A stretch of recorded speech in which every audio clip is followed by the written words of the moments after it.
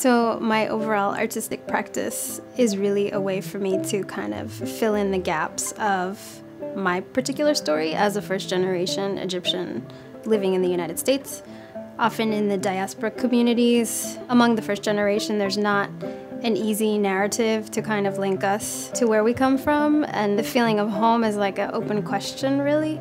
The Khayamiya Monument is a monument to the her stories of Arab women immigrants and migrants, and also Arab American women from my generation, in combination with female US veterans who are critical of their time in combat. Our friend, co-worker, she came to the association and she has this project because she had working with the, with our students like two years ago. And she came to us and said like I did this project. I wrote a lot of stories of uh, our students. And like I want as much as people to see it. And then I came up with this idea to have open mic. Because the piece is so centered in women's voices and it's really intended to be a feminist art piece, we really wanted to have the first open mic be a safe space. And um, some of them just wouldn't be comfortable sharing their story in front of strangers or in front of male identified people.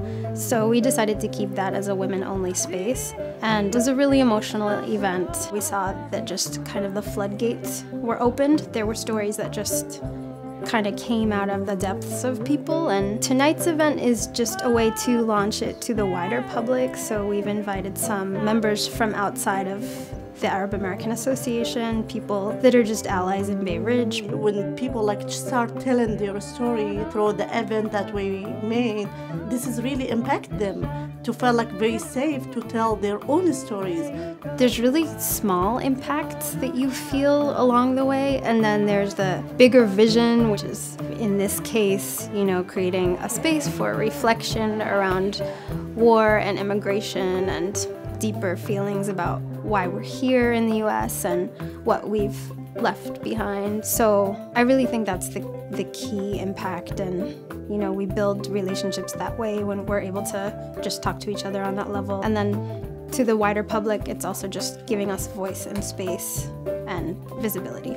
I hope people learn from those stories and share those, those stories and like we want to build trust and we want to empower each other, support each other, heal each other when we hear each other.